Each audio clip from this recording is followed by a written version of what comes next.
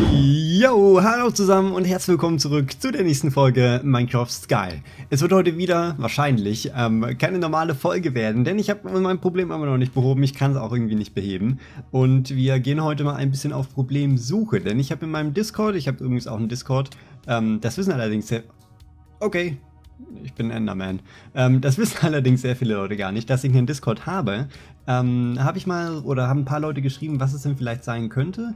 Vielleicht finden wir darauf eine Lösung. Einige meinten, das ist die Voice Mod, aber von der wurde kein Update gemacht und an sich macht es auch relativ wenig Sinn, aber wenn es Sinn machen würde, ich kann es auch nicht testen, denn ich werde immer wieder hier hochgepollt. Das sind übrigens die Sachen, mit denen ich so zu kämpfen habe, während ich offscreen spiele. Ähm, was soll ich sagen? Genau, ich kann es auch nicht testen, weil die Voice Mod leider serverseitig ist. Aber eine andere Sache, ähm, es wurde gemeint, dass es vielleicht Blöcke sein könnten, die Spieler imitieren, wie zum Beispiel der Autonomous Activator oder der Killer Joe. Und äh, deswegen wollte ich gerade eigentlich versuchen, die mal umzubauen oder abzubauen, je nachdem, oder auszustellen. Wir haben hier hinten ja zwei Stück, einen oben, einen unten. Dann haben wir unten einen, der das Zeug trinkt für, für äh, XP und sowas. Ich weiß gar nicht, wo wir sonst noch einen haben. Und es wurde noch gesagt, es könnte sein, dass eine Multiblock-Struktur irgendwie auf einer Chunk-Grenze steht, was zum Beispiel bei der Schmiede der Fall sein könnte. Aber ja, ich weiß nicht, das wäre auch, also die Schmiede war erst da, nachdem ich die Lex hatte, deswegen, die wird es wahrscheinlich nicht sein, aber vielleicht irgendwas anderes. Okay, ich guck mal, dass ich mich jetzt gleich wieder von diesem Fleck hier wegbewegen kann. Und dann schnappen wir uns eine Ranch und versuchen mal Sachen abzubauen. Okay, das ist eine Sache, die vielleicht auch noch dazu führen könnte, dass es so ist. Wir haben ja hier einen Tank, der hier rechts neben dran, der Resonant Portable Tank, in dem ist Mob Essence drin die immer von dem Grinder kamen. Allerdings, als ich das Ganze umgebaut habe, habe ich den Killer Joe unten angeschlossen. Und dadurch wurde ähm, nicht Mob Essence, sondern Liquid XP, wie ihr es in dem Rohr seht, in das Rohr gepumpt.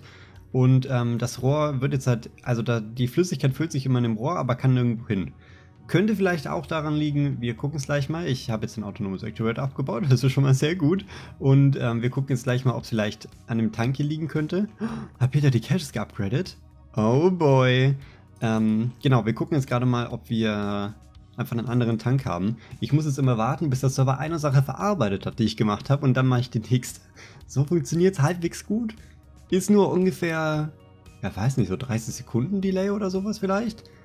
Also damit lässt sich sogar noch so halb arbeiten. Ich habe auch meine Rüstung abgelegt, weil ich irgendwie eine Zeit lang das Gefühl hatte, dass ähm, meine Rüstung daran schuld ist. Und äh, einmal hat es auch funktioniert, also ich habe irgendwie meine Rüstung ausgezogen und Danach hat alles funktioniert, aber dann kurze Zeit später war die Rüstung aus und es hat immer noch nicht funktioniert. Also keine Ahnung. Okay, Tank kommt dahin und dann gucken wir gleich weiter. Okay, Tank ist dran, wir haben jetzt hier knapp 7000 Millibuckets Liquid XP drin und wie ihr seht, füllt sich das Rohr jetzt gerade wieder mit Bomb Essence. Also es könnte eine Sache sein, an der es vielleicht gelegen haben könnte, aber das sehen wir gleich. Ich habe jetzt eine Void Pipe geholt, denn ähm, ich will jetzt nicht wieder die Tanks immer wieder austauschen. Das heißt, wir packen einfach eine Void Pipe dran. Die Mobfalle ist, glaube ich, gerade eh aus, weil es da irgendwie ich glaube, Peter hat Witchwater reingeschüttet und dann war genau die Sache, die bei mir super oft in den Kommentaren geschrieben wurde. Ähm, und zwar, dass eben ähm, Charge Creeper sofort explodieren, wenn sie Damage bekommen und nicht instant getötet werden. Und ich glaube, da war dann so ein bisschen ein Problem. Aber ich, das war, glaube ich, sogar schon davor, oder? Ich weiß gar nicht mehr. Auf jeden Fall, ähm, der Mobfall ist, glaube ich, gerade aus, weil sie kaputt ist. Aber da müssen wir mal gucken. Ansonsten müssen wir die mal reparieren. Ich schau mal, was wir heute so erreichen könnten. Wenn ich warte, ob das Void Pipe hier hingesetzt wird oder nicht, noch eine Sache, ich glaube, ich habe am Anfang gar nicht erwähnt, was jetzt eigentlich gerade Sache ist. Im letzten Video habe ich ja gemeint, ähm, das liegt ja an Internetproblemen, mein Internet ist so schlecht. Aber das ist scheinbar nicht so, sondern es geht hier wirklich um irgendeine Sache, die auf dem Sky-Server passiert ist. Deswegen will ich auch gerade gucken, was es vielleicht zeigen könnte, was gebaut wurde. Denn ähm, bei meinem Internet ist, klar, mein Internet ist scheiße, aber es ist irgendwie alles trotzdem normal. Das heißt, ich kann auf anderen Minecraft-Servern ohne Probleme spielen, ich kann andere Spiele wie CSGO oder League ohne Probleme spielen. Ich habe gestern Abend gestreamt, das ging ohne Probleme. Ich kann Videos, Filme, was auch immer kann ich alles gucken, absolut kein Problem. Es ist auch kein, kein hoher Ping oder eigentlich gar nichts. Also es muss an irgendeinem Block liegen oder an irgendeiner Struktur, die wir hier bei uns im Haus aufgebaut haben und die bei mir zu diesen extremen Delays führt. Also es geht sogar auf dem Sky-Server intern. Ich war bei Peter, äh, war ich ja in ein paar Folgen dabei und da war es teilweise so, dass es einfach funktioniert hat. Da waren wir in einer Folge bei Revi drüben auf seinen Grundstücken. Da war absolut kein Problem. Das heißt, ähm, da hat wirklich alles wieder funktioniert. Und ähm, dann sind wir wieder ins Haus gegangen und waren so auf der mittleren Etage, wie jetzt ungefähr, und dann war der Delay wieder da. Auch wenn wir oben bei uns im Haus waren, zum Beispiel auf dem Botania-Turm, den wir bei Peter gebaut haben, war auch alles super, kein Delay. Dann gehe ich nach unten, dann wurde der Delay ein bisschen größer und solange ich mich länger dort aufgehalten habe oder auch ähm, danach ein bisschen, war der Delay sofort wieder da. Also ich weiß absolut nicht, was es sein könnte. Es ist auch kein Hyping. Das hat ja auch jemand in die Kommentare geschrieben. Das kann man nicht mit MS begründen, also mit, mit Millisecond Delay begründen, sondern es wären eben irgendwie 100.000 MS gewesen und das macht eben absolut keinen Sinn. Aber trotzdem, wenn ihr irgendwelche Vorschläge habt, wenn ihr vielleicht wisst, was es sein könnte, wenn ihr schon mal ein ähnliches Problem hattet, dann schreibt es gerne in die Kommentare. Ich habe normal auch kein Hyping auf dem Server, also auch wenn ich im, im Menü davor bin, dann wird mir angezeigt, ich habe einen 30er Ping und das ist auch so das, was ich ungefähr immer habe. Und das ist eben auch kein Ping-Problem hier. Keine Ahnung, sonst wäre auch meine Verbindung oben in Tab auf. Minus wahrscheinlich.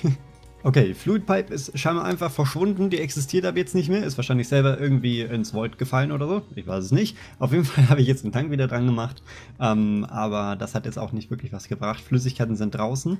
Was ich jetzt noch als Idee hatte, was jetzt aber unglaublich schwer wird für mich zu überprüfen, ähm, ist, ob es vielleicht an dem Lagersystem liegt. Denn wir haben ja hier drüben die zwei Sachen mit ähm, Tesseract und der Chest bei dem Tesseract kommen einige Items an und bei der Chest kommen einige Items an und die werden dann hier drüben aufgeteilt. Das Problem, das wir allerdings haben könnten, ich weiß nicht, ob es wirklich so ist, aber es könnte eben passieren, ähm, ist, dass wir die Kisten hier voll haben. Denn ich habe gesehen, dass die Kisten letztes Mal voll werden, denn die werden super schnell vollgemüllt durch die Mobfalle, durch den Fischer zum Beispiel. Und ähm, es könnte vielleicht sein, dass sich Items im Tesseract stauen oder irgendwie in den Kisten stauen und deswegen kein Platz mehr da ist. Problem ist nur, wenn ich das jetzt überprüfe, dann brauche ich wahrscheinlich eine halbe Stunde. Oder noch länger. Aber wir gucken jetzt einfach mal. Weil das letzte Mal waren hier super wenig, ähm, super wenig Platz in den Kisten. Also es könnte wirklich sein, dass wir einfach das. Vielleicht, vielleicht den Platz erweitern müssen. Das wäre auch eine Sache, die, keine Ahnung, einfach so passieren könnte. Ach, in meinem Kopf machen alle Theorien irgendwie Sinn und dann ist es doch nicht das Problem. Wir gucken jetzt mal, ob es irgendwie daran liegen könnte. Und da ist der Command, den ich vor zwei Minuten eingegeben habe. Hey. Aha, da haben wir doch schon einen kleinen Übeltäter gefunden. Die letzte Kiste, und das ist wirklich die letzte Kiste, die ist schon mal voll. Was kein gutes äh, Zeichen dafür eigentlich ist. Ähm, die Frage ist halt nur, was werfen wir hier raus? Ich meine, Cross Dirt werden wir wahrscheinlich niemals brauchen. Wir müssten auch für ein paar Sachen wieder ein paar Caches anlegen, aber da müssen wir das Lager irgendwie größer bauen oder so. Da müssen wir auf jeden Fall mal gucken. Ähm, ja, dann gut, Sättel ist halt so eine andere Sache. Safari-Netze Dafür haben wir keinen Cash gemacht, ne? Das müssten wir vielleicht auch noch tun, das wäre gar nicht mal so dumm. Ähm, ich denke mal, die Erde können wir auf jeden Fall rauswerfen. Quartz Dirt, das ist dann schon mal ein bisschen was. Ein Problem wird halt nur, ich werde es gleich wieder aufheben. Oh man. Okay. Aber wenn die letzte Kiste voll ist, dann ist das schon mal nicht so gut. Aber vielleicht liegt es ja wirklich daran. Ich habe jetzt gleich so einen kleinen Hoffnungsschimmer. Okay, nächstes Ziel ist jetzt die Mobfalle. Ich habe jetzt hier gerade mal den Debug-Screen offen, denn vielleicht, ähm, falls jemand von euch Ahnung davon hat, vielleicht hilft ihm das ein bisschen weiter. Dann kann jetzt einfach mal das Video pausieren und irgendwie gucken, ob es daran liegen könnte. Ich habe unten links das Legometer an, das ist aber auch nicht so heftig. Bei uns oben im Haus ist es noch ein bisschen größer. Es gibt ähm, auch Einstellungen dafür, äh, was denn was davon ist. Ähm, genau, White sind Tick White sind Tickfehler, Rot sind Chunk-Loading-Fehler, Grün sind Frame-Rendering Internal Server Errors und Blue sind Internal Server mit Smooth World On. Aber ich glaube, ich habe Smooth World eher so, also gibt es auch keine blauen, sondern eigentlich nur, ich meine, grün ist das meiste, rot erkenne ich darin nicht, gibt wahrscheinlich auch rote und weiß gibt es ein paar. Aber eigentlich ist wirklich grün so das einzige. Und eben links noch das Diagramm. Vielleicht kann jemand damit was anfangen, ich weiß nicht. Ich gehe jetzt mal in die Mobfalle und guck mal, ob ich hier irgendwas erreiche, aber ich denke, achso, hier ist schon Witchwater drin, glaube ich, ne? Uh oh. Spaghetti-O. Ähm, ich glaube, auch Peter hat die auch umgebaut, ne? Die sieht voll, voll smooth aus jetzt irgendwie, die ganze Mobfalle. Aber ich meine, hier hat sich halt absolut nichts verändert. Das ist halt das Problem. Ich meine, hier ist Witchwater drin, okay. Aber ansonsten, keine Ahnung, Grinder ist halt Grinder. Ich denke auch nicht, dass sich hier groß irgendwie sonst irgendwas dran gemacht hat. Warte mal, ich glaube unten... Von wo bekommt er denn was? Achso, wahrscheinlich Items nach hinten weg, ne? Warte mal gucken. Genau, Flüssigkeit geht nach unten weg. Das ist alles soweit klar. Ist da was wahrscheinlich ein Ding mit dran, ne? Dann Strom bekommt er wahrscheinlich hier. Genau, Receiving Fluids and Energy, Sending Items and Fluids. Ja, da ist auch alles komplett normal. Also eigentlich sollte der hier keine Probleme machen. Warum bist du nicht mehr daran angeschlossen? Oh, wahrscheinlich ist das mal kaputt gegangen. Das heißt, hier kommt kein Gunpowder mehr an. Okay, das ist aber auch nicht unbedingt super schlimm. Hm. Okay, ich muss nur aufpassen, dass hier gleich kein Creeper oder sowas runterkommt. Das wäre ein bisschen suboptimal. Aber nur ein bisschen. Dann baue ich jetzt hier mal so schnell es geht irgendwie wieder zu. Aber auf jeden Fall ist ja eigentlich auch nichts, was Lex verursachen sollte. Aber das ist halt irgendwie immer so. Es ist nicht da, nichts da, was Lex verursachen sollte, aber irgendwas verursacht ja. Sehr wohl Lex. Okay. Dann geht's jetzt wohl zur nächsten Stelle. Mal gucken, ob wir da was finden. Okay, das ist jetzt wohl das letzte Update, das ich euch heute geben werde. Ich habe jetzt, äh, glaube ich, so gut wie alles umgebaut, was mir in den Sinn kommt, was es können sein würde, könnte, eventuell erweise können Seite. Ja, aber äh, hat irgendwie nicht so viel gebracht. Also das ich habe jetzt gerade wieder festgestellt, der Delay ist irgendwie kürzer, wenn ich neu auf den Server komme und je länger ich auf dem Server bin, desto länger wird auch der Delay immer. Also wenn ich eine halbe Stunde auf dem Server bin, dann habe ich irgendwann 5 Minuten Delay. Wenn ich jetzt so wie gerade ganz kurz nur drauf bin, also ich bin gerade wieder neu gejoint, dann sind es vielleicht 30 Sekunden oder sowas oder teilweise sogar niedriger. Aber ja, ihr seht, jetzt, jetzt es gerade sogar noch, aber je länger ich eben auf dem Server bleibe, desto höher wird der Delay. Also keine Ahnung, was das für ein Fehler ist, ein bisschen Koreans. Und ja, was habe ich jetzt noch umgebaut? Ich habe jetzt die Mobfalle nochmal komplett umgebaut, das heißt, ich habe das Switchwater raus, den Grinder weg. Der Grinder war an dem Tesseract angeschlossen, den ich vorhin abgebaut habe, deswegen habe ich den abgebaut. Ähm, ja, dann das Kabel davon weggemacht, das Kabel wieder neu, also die, die Pipes wieder neu verbunden. Und äh, ja, oben halt die ganzen Sachen, die ich davor schon angesprochen hatte. Aber mehr fällt mir dazu jetzt wirklich noch ein. Ich habe ja auch eine Sache habe ich noch, die ich jetzt noch mal ganz kurz gucken könnte. Aber dann bin ich wirklich, dann bin ich wirklich hilflos. Also wenn ihr irgendwelche Sachen habt, dann schreibt sie gerne in die Kommentare. Aber ansonsten, ähm, ja, weiß ich nicht, wie es weitergeht. Okay, Momentus. Ich habe vielleicht doch noch eine andere Idee, denn wir hatten ja unsere Mobfalle und in unserer, in unserer Mobfalle sind Charts Creeper gespawnt und auch so Creeper gespawnt, die nicht getötet wurden und die dann explodiert sind. Die Mobfalle ist allerdings direkt über dem, ähm, über dem Wasserradpark, den wir ja praktisch unterirdisch gebaut haben. Und ich habe gerade gesehen, dass da unten kein Strom ist. Und es könnte ja vielleicht ähm, sein, dass das irgendwas macht. ich habe doch keine Ahnung. Nee, aber es, äh, es könnte eben sein, dass die Wasserräder irgendwie kaputt sind, dass sie sich verdreht haben oder dass sie halb gesprengt wurden oder irgendwie so eine Kacke. Und das wäre vielleicht noch eine Sache, wo ich sagen könnte, dass ähm, ist plausibel. Das gucke ich jetzt auf jeden Fall nochmal nach. Denn, ja, wie gesagt, da, da wurde sehr viel kaputt gemacht, auch weiter unten noch. Das heißt, wir schauen da jetzt gerade mal nach. Ich weiß gar nicht, wie wir da am besten hinkommen. Wahrscheinlich äh, hier irgendwo. Hier hinten dran ja nochmal, ne? Genau, hier gucken wir einer an. Hier sitzt überall Wasser. Okay, warte mal. Bei den Wasserrädern ist noch alles in Ordnung. Die drehen sich alle perfekt. Ja, ich muss Luft holen. Ja, nee, hier gut. Okay, hier ist alles gut. Da ist auch noch der Dynamo dran. Ich hoffe es auf jeden Fall. Hier drüben müsste eigentlich auch noch dran sein. Das Problem war nämlich, was ich gerade gesehen habe, dass, ähm, oh, guck mal, ist Wasser drin, ähm, dass dieses Ding hier keinen Strom hat. Und das ist relativ komisch und sollte normalerweise nicht so sein. Unsere TNT-Produktion ist zurzeit übrigens ausgeschalten. Das heißt, wir können sogar mal die Kabel davon wegmachen. Genau, hier war, da braucht das ganz kurz, was er lädt. Da ist keine Energie und hier ist ebenfalls keine Energie. Was mysteriös ist, denn äh, eigentlich sollte hier Energie sein. Aber wir bauen jetzt einfach mal zwei Connector ab, den einen hier drüben und die anderen dort oben. Ihr seht, gerade geht sogar mit dem Delay so voll klar. Also es ist nicht ansatzweise so hoch wie sonst. Aber das wird wahrscheinlich gleich wieder höher werden. So, warte, dann bauen wir dich und dich noch wieder ab.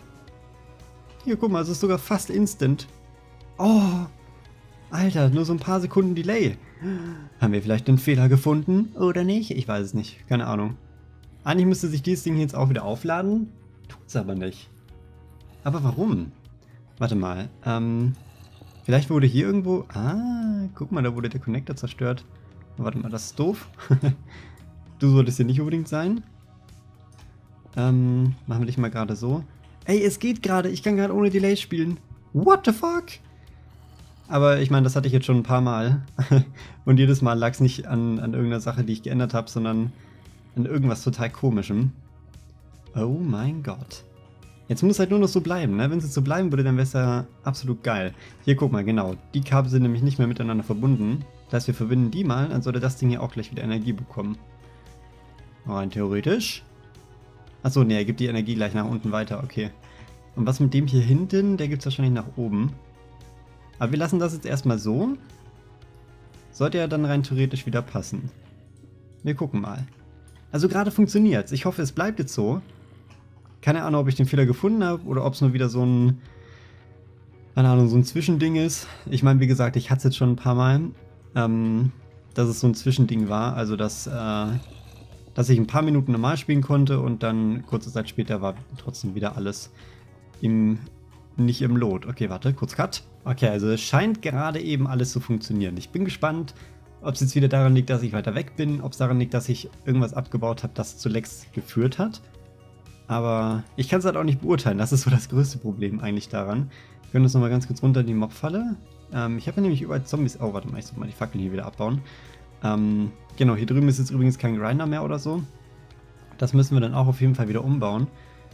Da ist jetzt nur noch der, der komische Stick da, der die Sachen sonst immer kaputt macht. So, dann kommt ihr wieder weg. Oh mein Gott, das ist so cool, ohne Delay zu spielen. Minecraft macht ja sogar wieder Spaß. Okay, pass auf, ich gehe jetzt nochmal nach oben und gucke, ob sich dann wieder was ändert. Bester Indikator dafür ist eigentlich der Fahrstuhl. Okay, Fahrstuhl ist instant. Yay. Jetzt warten wir ganz kurz, ob sich hier was verändert hat oder nicht. Beziehungsweise ob der Delay noch da ist. Ich meine, okay, ich kann übrigens mittlerweile auf Peters Tesseract zugreifen, weil er die umgestellt hat. Das ist ganz cool. Hier kommen jetzt gerade die Sachen an. Ja, das, da geht soweit auch alles. Aber es kann eben sein, dass es jetzt gleich wieder in einer Minute höher Delay ist. Delayless. Ich mache mal ganz kurz einen Cut und gucke dann. Yep. Und es ist wieder genau das, was ich gesagt habe. Ich bin hier oben und ich habe wieder einen Delay. Zwar nicht so einen krassen, aber einen deutlich spürbaren und um einiges höher, als er gerade eben war. Also doch kein Problem gefunden. Ich bin wieder traurig. Ach man, so eine Kacke. Okay, gut. Wenn ihr irgendwelche Tipps habt, schreibt sie super gerne in die Kommentare. Ich bin verzweifelt und ähm, werde mal gucken, ob wir irgendwas rausfinden. Ansonsten war es das von einem Video. Ich habe eigentlich gehofft, es gibt jetzt ein Happy End, aber leider kein Happy End. Aber ja, gut, wie gesagt, schreibt Sachen in die Kommentare, falls ihr Ideen habt. Und ansonsten sehen wir uns beim nächsten Mal, hoffentlich. Und äh, ja, dann habt noch einen wunderschönen Tag und bis morgen. Tschüss.